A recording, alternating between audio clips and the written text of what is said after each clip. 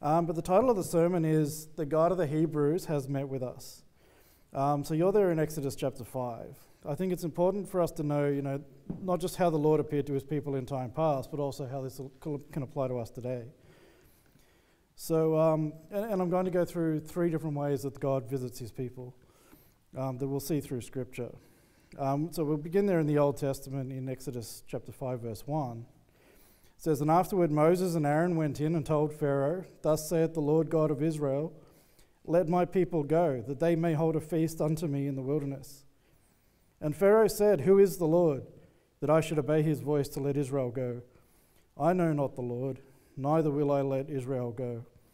And they said, The God of the Hebrews hath met with us. Let us go, we pray thee, three days' journey into the desert, and sacrifice unto the, peop- unto the Lord our God, lest he fall upon us with pestilence or with the sword.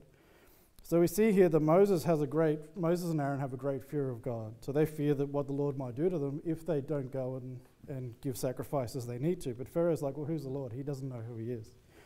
So he's got no fear of God. And if you read through the, you know, the chapters in Exodus talking about uh, how he resists them to leave, then you'll see just how much he hates God. He ends up becoming a reprobate. Um, but we see the Lord visits his people, but he wouldn't visit them in the presence of Pharaoh. You know, he makes himself known to them through the men of God, such as Moses and Aaron, but he would not himself appear to them. So it's a blessing to be visited by God. And Abraham was also somebody who had face to face with God. So, point one is that some people saw God face to face. I'll get you to turn to Genesis chapter 18, verse 1.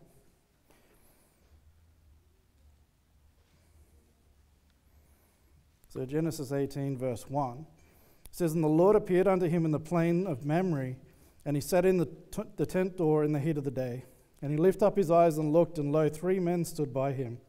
And when he saw them, he ran to meet them from the tent door and bowed himself toward the ground, and said, My Lord, if I now have found favor in thy sight, pass not away, I pray thee, from thy servant. Just drop down to verse number 8. It says, And he took butter and milk and the calf which he had dressed, and set it before them, and he stood by them under the tree, and they did eat. And they said unto him, Where is Sarah thy wife? And he said, Behold, in the tent. And he said, I'll certainly return unto thee according to the time of life, and lo, Sarah thy wife shall have a son. And Sarah heard it in the tent door which was behind him. So the Lord had great news here for Abraham. He was not only going to have a son, he was going to have an heir, but he'd also be the father of many nations. You know, so we know that promise was to his seed, you know, which was Christ. Um, and all believers, Old and New Testament, including the children of Israel, you know, would all partake of that seed. You know, we're all part of that seed by faith in Christ Jesus. And Galatians chapter 3 makes it abundantly clear, and I've preached on it multiple times. You know, Pastor Kevin and others have gone through that as well. You know, it's abundantly clear that that seed is Christ.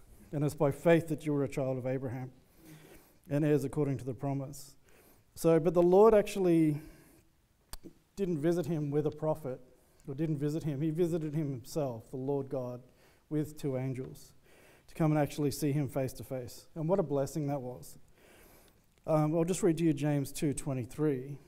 It says, "And the scripture was fulfilled, which saith, Abraham believed God, and he was imputed unto him for righteousness, and he was called the friend of God." So I'll get you to turn to uh, Ruth chapter 1. But as the children of the, as children of God, the Lord is going to deal kindly with us. He's going to entreat us, and we should all aim to be called the friend of God. You know, to be walking in His good stead you know, living those separated, uh, separated lives from the world, you know, talking with Him through prayer, you know, and just praising Him with your lips every day. Amen. You know, it's, it's not an easy thing to do because we, we all fail from time to time. You know, every single one of us will fail in that, but that's our goal regardless. You know, to live that holy separated life for Him. So you're in Ruth chapter 1, verse 1. And it says, Now it came to pass in the days when the judges ruled that there was a famine in the land. And a certain man of Bethlehem, Judah, went to sojourn in the country of Moab, he and his wife and his two sons.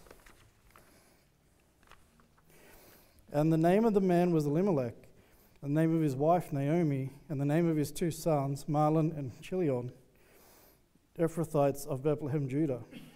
And they came into the country of Moab and continued there. And Elimelech, Naomi's husband, died, and she was left, and her two sons. And they took them wives of the women of Moab. The name of the one was Orpah, the other was Ruth. And they dwelt there about ten years. And Mahlon and Chilion died also, both of them. And the woman was left of her two sons and her husband. Then she arose with her daughters in law, that she might return from the country of Moab, for she had heard the country of Moab how the Lord had vis- visited his people in giving them bread. Wherefore she went forth out of the place where she was, and her two daughters in law with her. They went on the way to return unto the land of Judah. So at this time there was a great famine, and all the nations of the, of the earth were looking to eat. They were struggling with food and you know, crop production and all of that. But you look at verse 6, it says, During this time of famine, the Lord visited his people and gave them bread. So this isn't a physical appearing of the Lord face to face like with Abraham and Moses, but the people there knew, the Israelites knew, people of God knew, the children, uh, that God had visited them. And that's why Ruth and Naomi are looking to go back to that country because that's where the Lord is. And again, that's a lesson for us. We should always be going where the Lord is. You know, the Lord's in church, we should be going to church. You know, the Lord's wherever He is, that's where we should be going. Amen. You know, we should be seeking His bread, seeking after Him. And, you know, that's a good lesson. I've preached on Ruth before, but that's a great lesson from Ruth, is, is to go where the Lord is, where the God of Israel is, the God of the Hebrews. And, uh, you know, that's another promise as well, that He will visit us in our time of need, just like He did for them. You know, so we seek first that kingdom of God, and we'll have food and raiment, all those necessities. He said, I'll, take care of all of that. Um, you can turn to Matthew 6 if you like, but I'll just read to you from that. Um, Matthew 6:31, we're all pretty familiar, but it says, "Therefore take no thought, saying, What shall we eat, or what shall we drink, or wherewithal shall we be clothed? For after these things do the Gentiles seek. For your heavenly Father knoweth that you have need of all these things." Oh, how amazing to have a God who just knows we need these things. Mm. That he, he knows that we can't go without food, we can't go without clothing, we can't go without water. You know, so He's going to provide those things for us in verse 33 But seek ye first the kingdom of God and his righteousness, and all these things shall be added unto you. Take therefore no thought for the morrow, for tomorrow shall take thought for the things of itself. Sufficient unto the day is the evil thereof. So I'll get you to turn to Haggai chapter 1. But I mean, that's an important promise. If we seek the kingdom of God first, if we look to Him first, we go where the Lord is. When He's come to visit us, we need to go where He is. And I'll get to, get to how that works in the New Testament later. But if you want those things to be taken care of, you want food, clothing, all those things, God's provision, He says, just first seek me, just do my works. And, you know, then you're actually going to have that fellowship with God. You'll have that close relationship with Him, and He will provide everything for you. So, uh, in this chapter in Haggai, the prophet Haggai, he's giving instruction from the Lord to the people of Israel. Um, they forsook building the temple of God, which is the house of God in the Old Testament, but they built their own houses and were dwelling in them. And the Lord was displeased, so he visited his people through the prophet Haggai. So in Haggai chapter 1, verse 3, it says, Then came the word of the Lord by Haggai the prophet, saying, and that's a term you'll find all through the Old Testament as well. Um, it says, It is time for you, O ye, o ye, to dwell in your sealed houses and this is this house lie sorry, I'll start again. It is time is it time for you, O ye, to dwell in your sealed houses, and this house lie waste? Now therefore, thus saith the Lord of hosts, consider your ways. Ye have sown much, and bring in little. Ye eat, but ye have not enough. Ye drink, but ye are not filled with drink. Ye clothe you, but there is none warm. And he that earneth wages, earneth wages to put it into a bag with holes. Thus saith the Lord of hosts, consider your ways. Go up to the mountain and bring wood and build the house, and I will take pleasure in it, and I will be glorified, saith the Lord. You looked for much, and lo, it came to little.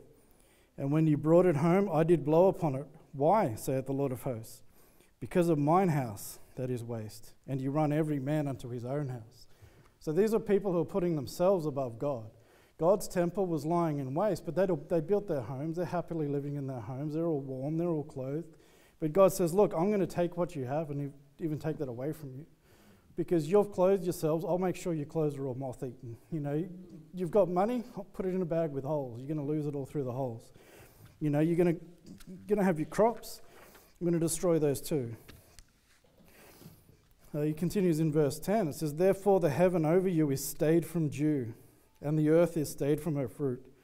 And I called for a drought upon the land, and upon the mountains, and upon the corn, and upon the new wine, upon the oil, upon that which ground bringeth forth, and upon men, upon cattle, upon all the labor of the hands again, you just everything they had, God's just like, look, I'll take it all from you. I'll destroy you. I'll take your food. I'll take your raiment. I'll take your clothing. That's why he says in Matthew, you know, if you seek first the kingdom of God, if they'd have built the temple first, God would have given them all those things. But because they sought those things, God took it away from them.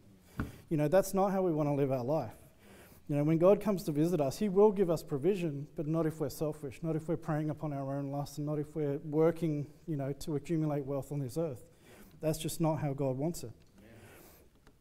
So uh, in verse 12, it says, Then Zerubbabel, the son of Shealtiel, uh, and Joshua, the son of Josedek, the high priest, with all the remnant of the people, obeyed the voice of the Lord their God and the words of Haggai the prophet, as the Lord their God had sent him.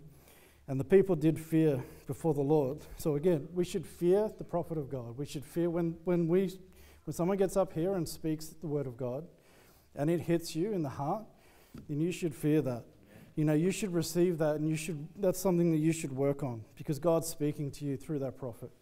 And that's the way we should always be, is whenever the prophet of God speaks and we hear the words of God, then we should take them to heart. Because you'll see that that actually works out for them in the end. Uh, in verse 13, then spake Haggai the Lord's messenger in the Lord's message unto the people, saying, I am with you, saith the Lord. And the Lord stirred up the spirit of Zerubbabel, the son of Shealtiel, governor of Judah, and the spirit of Joshua, the son of Josedek, the high priest, and the governor of Judah, sorry, and the spirit of all the remnant of the people. And they came and did work in the house of the Lord of hosts, their God. So they got it right. They heard the preaching and they got it right. And God was pleased with them. He said, You know what? I'm with you. You know, I'm, I'm there with you. So for all of us, the Lord can cause us to prosper or to fail. You know, so if you put your own needs before the Lord's needs, then he can cause everything of yours to fail. He can cause you to lose your job. He can cause you to lose your family, to, to lose everything. You know, and we just have to be careful not to fall into that trap. And we see when they, when they rebuilt the temple of the Lord, he was pleased, you know. And he, he says in chapter 2, he actually, the Lord says this to them through the prophet Haggai, chapter 2, verse 1. It says, In the seventh month, in the one and twentieth day of the month, came the word of the Lord by the prophet Haggai, saying, Speak now to Zerubbabel the son of Shealtiel, governor of Judah, and to Joshua the son of Josedek the high priest, and to the residue of the people, saying, Who is left among you that saw this house in her first glory? And how do you see it now? Is it not in your eyes in comparison of it as nothing? Yet now be strong, O Zerubbabel, saith the Lord, and be strong, O Joshua, son of Josedek the high priest and be strong, all ye people of the land, saith the Lord, and work, for I am with you, saith the Lord of hosts. According to the word that I covenanted, covenanted with you when you came out of Egypt, so my spirit remaineth among you. Fear ye not. So this even goes back to the promise made to Moses. You know, this is the promise when they came out of the out of the land of Egypt. God promised He'd be with them, and He dwelt with them, and He was with them but even here, he's saying, Look, just like I promised then, I'm still with you. You know, you've just got to put me first. That's what he wants. You know, and we should also be strong knowing that the Lord's with us. He's our shelter, our strength, our fortress, our, te- you know, our tower of defense. And even as we've been going through the armor of God, He's our armor. You know, He's our, he's our shield, He's our helmet of salvation, you know, our breastplate of righteousness. You know, God is all those things to us and safety comes from Him. So He can cause, cause us to prosper or fall by His hand. You know, and it says obedience is better than sacrifice. And we see here that the obedience to the words of the Lord, to the prophet of God, you know, that actually led to them being blessed. It wasn't them going doing their own thing, it was them actually being obedient to the Lord that saw their blessings. So we'll just go a couple other times that um, the Lord appeared. He appeared when he was with uh, Jacob, where he named him Israel. And that's where they wrestled, and he called that place Holy Ground and changed his name to Israel. Um, but the Lord was also in the fiery furnace with the three men of God in Daniel.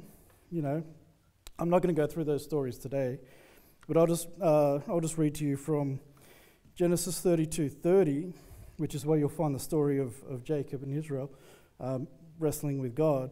It says, And Jacob called the name of the place Peniel, for I've seen God face to face, and my life is preserved. And also in Daniel chapter 3, where you'll find that story on uh, Shadrach, Meshach, and Abednego in the fiery furnace. In verse 25, it says, He answered and said, Lo, I see four men loose, walking in the midst of the fire, and they have no hurt. And the form of the fourth is like the Son of God.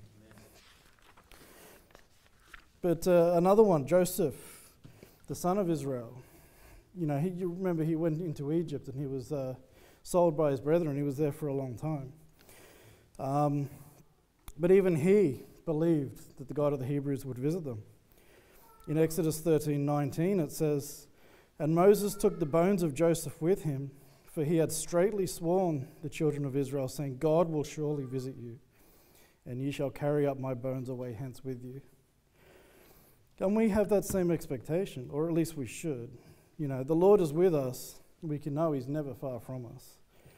Um, so I'm going to move on to point two. I'll get you to turn to Matthew chapter 1. And this is the Lord visiting in the New Testament. So I'll read to you from Isaiah chapter 7, verse 13, while you turn to Matthew chapter 1, verse 18. And in Isaiah 7:13 it says, "And he said, Hear ye now, O house of David. Is it a small thing for you to weary men? But will ye weary my God also? Therefore the Lord himself shall give you a sign. Behold, a virgin shall conceive and bear a son, and shall call his name Emmanuel." So you're there in Matthew chapter 1. We're just going to read a little passage here about the birth of Christ. It says, Now the birth of Christ was on this wise when, as his mother Mary was espoused to Joseph, before they came together, she was found with child of the Holy Ghost. Then Joseph, her husband, being a just man and not willing to make her a public example, was minded to put her away privily. But when he thought on these things, behold, the angel of the Lord appeared unto him in a dream, saying, Joseph, thou son of David, fear not to take unto thee Mary thy wife, for that which is conceived in her is the Holy Ghost. Is, sorry, is of the Holy Ghost. And she shall bring forth a son, and thou shalt call his name Jesus, for he shall save his people from their sins. Now all this was done that it might be fulfilled which was spoken of the Lord by the prophet, saying, Behold, a virgin shall be with child, and shall bring forth a son, and they shall call his name Emmanuel, which being interpreted is God with us. Then Joseph, being raised from sleep, did as the angel of the Lord had bidden him, and took unto him his wife and knew her not till she had brought forth her firstborn son, and he called his name Jesus. So I'll get you to turn to Luke chapter 7. But Emmanuel is being interpreted as God with us. And that was prophesied in Isaiah chapter 7 and fulfilled in Matthew chapter 1. And this is a special time where the Lord God of heaven, the creator of all things, you know, he was walking this earth in a physical body, in the flesh. And he visited the people of this earth in the flesh and he walked it for a little over 33 years. And his purpose here was making himself known and making the Father known, and he came to save and die for us to pay for all our sins. So in uh, Luke chapter 7, verse 11, we begin, and it came to pass the day after that he went to a city called Nain, and many of his disciples went with him, and much people. Now, when he had come nigh to the gate of the city, behold, there was a dead man carried out, the only son of his mother, and she was a widow, and much people of the city was with her. And when the Lord saw her, he had compassion on her, and said unto her, Weep not. And he came and touched the bier, and they that bare him stood still. And he said, Young man, I say unto thee, arise. And he that was dead sat up and began to speak, and he delivered him to his mother. And there came a fear on all and they glorified God, saying that a great prophet is risen up among us, and that God hath visited his people. And this rumor of him went forth throughout all Judea and throughout all the region round about. So these men, these people here, when they saw that man raised from the dead, they recognized God had visited his people. You know, and by many of the miracles that he did, you know, many believed on him. Some thought him to be the Christ, others thought him to be a prophet, but they all believed that God had visited them. You know, no matter how they saw him. And it's the Son of God who reveals the Father to us. You know, it's the Son of God who is God, but it was not the Father who walked among them, it was the Son. Amen. You know, and that's very clear. And even back in the Garden of Eden, it was the Son in, in the Garden of Eden walking, not the Father. In Genesis 3 8, it says, And they heard the voice of the Lord God walking in the garden in the cool of the day. Then Adam and his wife hid themselves from the presence of the Lord God amongst the trees of the garden. So the Bible makes it clear that no man can see the Father and live, and that no one has seen the Father, but the Son hath declared him. So nobody knows what the Father looks like. Nobody's seen the Father, but the Son, Jesus, has declared him. So we know that even here in Genesis 3 8, that it was the voice of the Lord, which I'd say is the Word of God, that was walking in, you know, walking with Adam and Eve. Um, I'll get you to turn to John chapter 1. I'm going to read to you from, from Luke 10 21. It says, In that hour Jesus rejoiced in spirit and said, I thank thee, O Father, Lord of heaven and earth, that thou hast hid these things from the wise and prudent, and hast revealed them unto babes. Even so, Father, for it seemed good in thy sight. All things are delivered to me of my Father, and no man knoweth who the Son is but the Father, and who the Father is but the Son and he to whom the Son will reveal, and he to whom the Son will reveal him. And he turned him unto his disciples, and he said privately, Blessed are the eyes which see the things that ye see. For I tell you that many prophets and kings have desired to see those things which ye see, and have not seen them, and to hear those things which ye hear, and have not heard them. So, how great is it for those men who could hear those things spoken by God? you know, face to face, which many of the prophets even desired to have. You know, they, they all died before Jesus came on the scene. So they didn't get to experience what the apostles and disciples got to experience. So he said, Blessed are your eyes because you get to see these things. And, and your fathers wanted to see those things, but they didn't. And even the transfiguration, where it was, you know, uh, only a few of them got to see that. Not all of the disciples or apostles got to see that. But, you know, again, blessed were those who got to actually witness that when at the baptism, um, where they saw the Holy Ghost come down upon, upon him. You know, there were a lot of people there, but still, you know, how many people got to see that? We weren't there. We'll never get to see that. And I've, you know, we all wonder what it would, would be like to have been there. But uh, the Bible actually teaches, even though we might envy, you know, what they actually got to saw, it was great that they got to saw, see that, but we actually have something even better. Um, so we get to that in point three, which is uh, coming up shortly. But in John 1, I had you turn there, verse 10. It says, He was in the world, and the world was made by him, and the world knew him not. He came unto his own, and his own received him not. But as many as received him, to them gave he power to become the sons of God, even to them that believe on his name, which were born not of blood, nor of the will of the flesh, nor of the will of man, but of God. And the Word was made flesh and dwelt among us. And we beheld his glory, the glory as of the only begotten of the Father, full of grace and truth. Drop down to verse 48. It says, Then Nathanael said unto him, Whence knowest thou me? Jesus answered and said unto him, Before that Philip called thee, when thou wast under the fig tree, I saw thee. Nathanael answered and said unto him, Rabbi, thou art the Son of God the king of Israel. So again, another man who recognized that God had come to visit them. In the flesh, the word manifest in the flesh is what it says in John chapter 1. In John 3:13 it says that no man hath ascended up to heaven, but he that came down from heaven, even the son of man which is in heaven. So that again, the reason we don't know the Father is because the Son has to declare him. We don't know the Son because the Father declares him. You know, so that's why you don't have the Father without the Son. You know, for those Jews who don't believe on Jesus Christ, well, they don't have the Father. You know, they have a different God. And he makes that perfectly clear. But it's just further proof that the Lord God, He was here in the flesh to visit His people. And, you know, His own didn't receive Him, but many, including the Gentile nations, they received Him. And it was, it was also another important thing is it was God who died on the cross and went to hell. You know, in Psalm 16:9 it says, Therefore my heart is glad, and my glory rejoiceth. My flesh also shall rest in hope, for thou wilt not leave my soul in hell, neither wilt thou suffer thine holy one to see corruption. Um, this is reiterated in Acts chapter 2. In, in Acts 2.23, it says, Him being delivered by the determinate counsel and foreknowledge of God, you have taken and by wicked hands have crucified and slain. He's talking about Jesus Christ. It says, Whom God hath raised up, having loosed the pains of death, because it was not possible that he should be holden of it.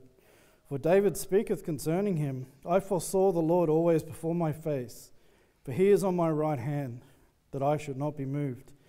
Therefore did my heart rejoice, and my tongue was glad. Moreover, also my flesh shall rest in hope, because thou wilt not leave my soul in hell, neither wilt thou suffer thine Holy One to see corruption. So I get on to point three now. After Christ ascended back to heaven, and he was loosed from those pains of death, and he escaped, you know, hell, uh, overcame hell and death, and has the keys of hell and death, as it teaches later on. But after that, has anything changed? You know, does the Lord still visit us? And well, he promised he'd never leave or forsake us. So we can know for certain that while he's not walking in the flesh with us, that he did not leave us alone. So, how does that work? Well, he says he left us the Comforter, the Holy Ghost. And these are several aspects of the Comforter. Um, I'll get you turned to uh, Ephesians chapter 1, verse 11. But I'll read to you from John 14, verse 15. He says, If you love me, keep my commandments, and I will pray the Father, and he shall give you another comforter, that he may abide with you forever. Now, again, we know eternal life is eternal. That's the promise we're hanging our hat on. Well, if he says that he'll be with you forever, he'll abide with you forever, then we can trust in that just as much. That comforter is always going to be with us.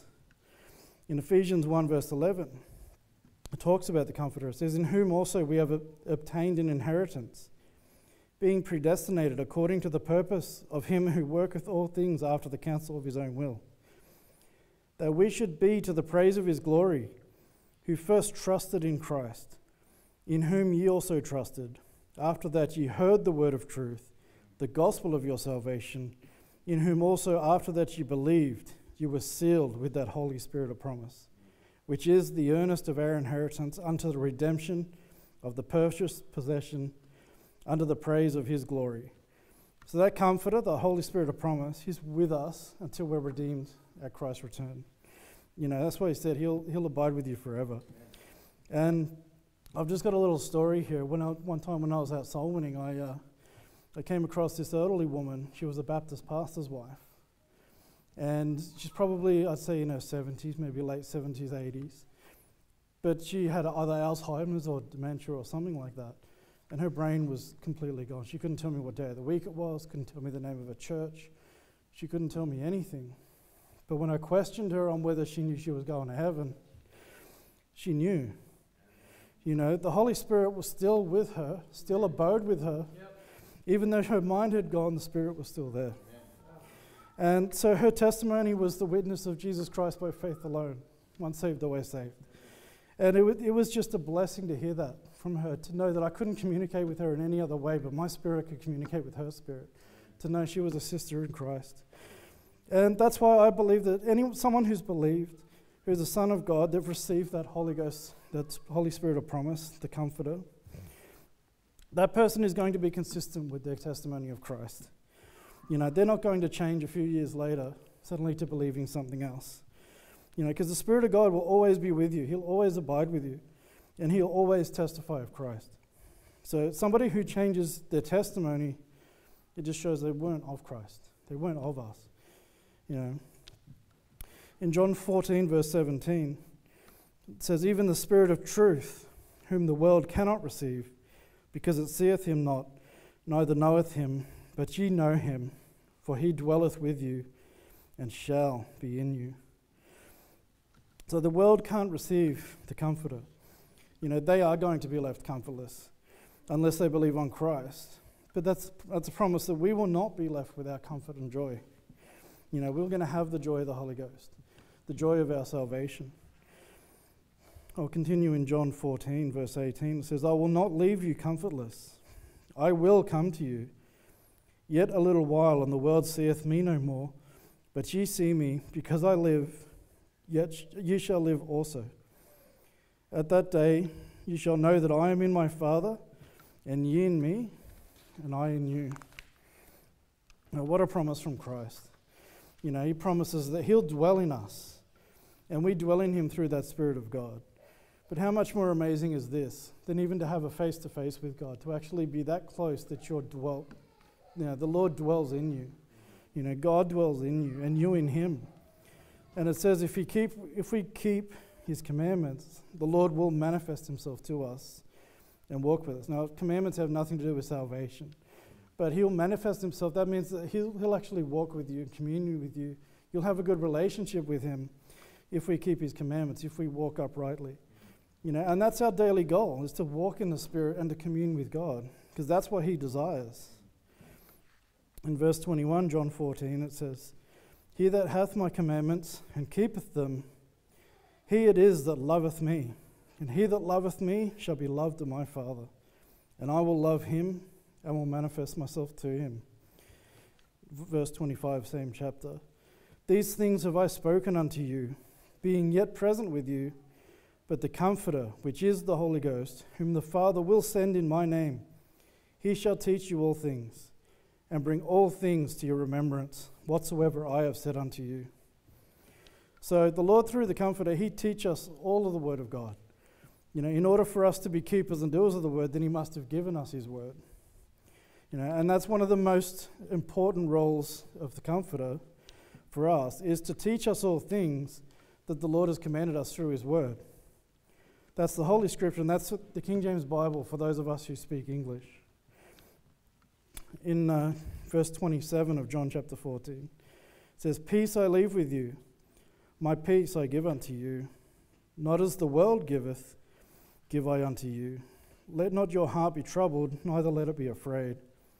Abide in me, and I in you. As a branch cannot bear fruit of itself, except it abide in the vine, no more can ye, except ye abide in me. So I recommend reading John chapter 15 as well for yourself. But it shows that we can do nothing without Christ. You know, it says if we do not abide in Him, we're not going to produce fruit. And that's the most important thing that a Christian can do is produce more fruit. In John 15, 7, it reads, If ye abide in me, and my words abide in you, ye shall ask what ye will, and it shall be done unto you we see the Lord manifesting himself unto us. You know, your prayers being answered, you know, being his disciples, producing fruit, all of this is contingent on being faithful to him and to his commandments. He says, If you love me, keep my commandments. And that's why we should walk in the Spirit and abide with him, Amen. and he will abide in us. I'll get you to turn to Matthew chapter 18.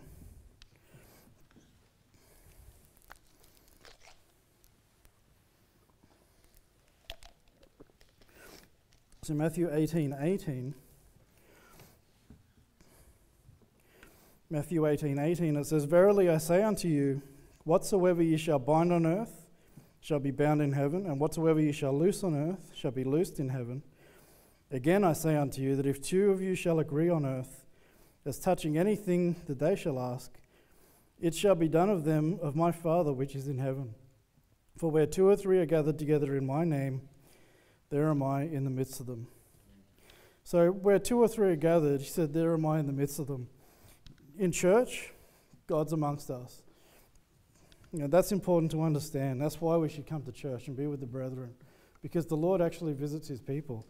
You know, he visits us here with his presence, but also through his word. And we also, when we make judgments, it says the God of the Hebrews is with us. You know, it says that heaven will recognize the judgments of the church. And that's what the context of this is. I hate when people take this, this portion of scripture out of context. This is not justifying some kind of home group or some kind of, you know, home church, whatever you want to call it. You know, this is about the church of God. The church of God is established with a pastor and with, with congregation. It's a congregation of believers, and that's what God respects. God respects their judgment. And uh, it even says that heaven will recognize the judgment of the church. And that's important. That's why it's important for us to be in church, because we can make those judgments that God actually commands us to make. But also, it's not something I went over, but when Moses met face to face with God, you, you, most of you would probably know that his face actually shone with a very bright light. He had to wear a veil over his face because they couldn't even look upon him. Um, I'll get you to turn to 2 Corinthians chapter 3. But his face shone, Moses' face shone when, the, when, when he met the God of the Hebrews. And it explains here in 2 Corinthians that our faith shines also with the light of God.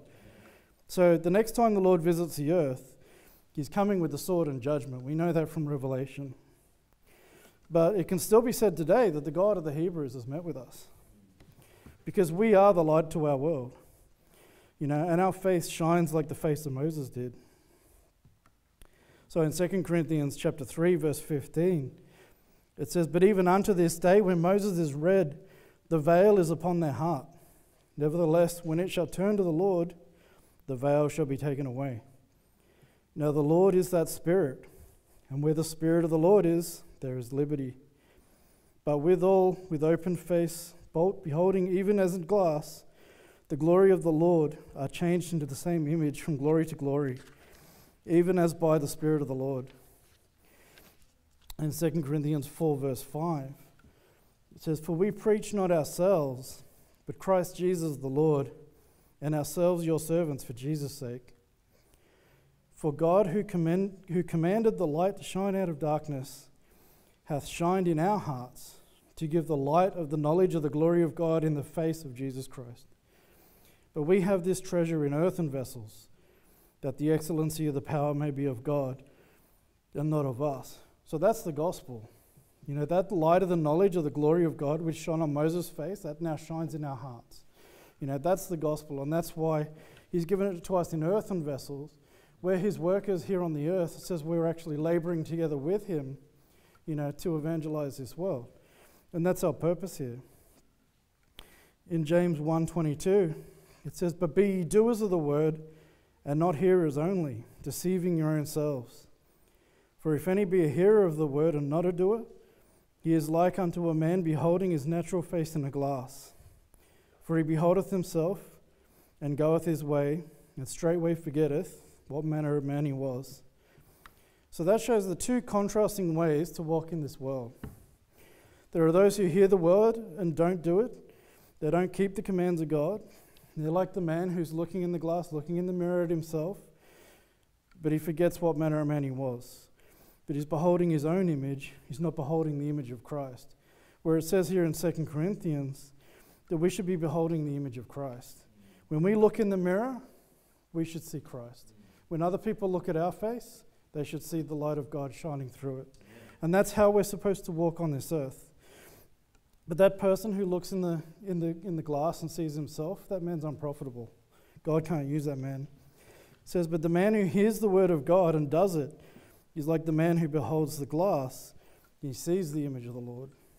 You know, we should walk as that light and shine that light of Christ to this world. And our church at least does that. You know, we have a great soul winning program. We have a lot of men who go out, and women as well, and children who go out soul winning, and that's the best thing we can do. That's how we can have that light of Christ. And yeah, our faith should shine just as Moses did. So in John 14 22, says, Judas said unto him, not Iscariot, Lord, how is it that thou wilt manifest thyself unto us and not unto the world? Because remember that he wouldn't manifest himself to Pharaoh, he wouldn't manifest himself to people who hate God. And Jesus answered and said unto him, If a man love me, he will keep my words. And my Father will love him, and he will come unto him, and make our abode with him. He that loveth me not keepeth not my sayings, and the word which ye hear is not mine but the Father's which sent me. So we're not the Son of God to visit the people on, this, on the earth in the flesh. You know, Jesus is the Son of God, And he did that 2,000 years ago. But we that are of faith in him, we are the sons of God. And God visits them through us. And as we preach the word to him, as we preach it to each other, you know, this is how the Lord actually walks amongst us. And this is why our name, our reputation, our, our conversation in the world should also reflect Christ. You know, our image should always reflect Christ. So maybe people then will ask, What is the hope of your salvation? You know, why are you so joyful? Why do you not care about what happens to this world? You know, we should have an answer to that hope. And our answer, of course, should always be pointing to Christ. But when they look at us, they should see Christ. You know, they, when they look at us, they should be able to say, The God of the Hebrews has met with us. You know, so we're, we should live our life with that in mind and let Christ shine through us. So I'll just go through those, those three ways that God visits his people. The first way was face to face. People like Moses, people like Abraham, people like Adam, uh, and even, even uh, Israel. Um, the second point is through prophets and his word. So he's left us with his word. We have his word here. And even the Old Testament, even when there was a gap between Malachi and Matthew of a few hundred years, I think about 400 years or something, that they still had the word. They still had the law and the prophets. So God did not leave them or forsake them. He, he left them with the word and said, just keep doing this until I come. And then the third point is through us. He visits the world through us. And he visits us also with our brethren. That's how iron sharpeneth iron. And, you know, we can um, fellowship together and know that the Lord is with us. He's in the, in the midst of us. So I'll just get uh, Pastor to come up and pray.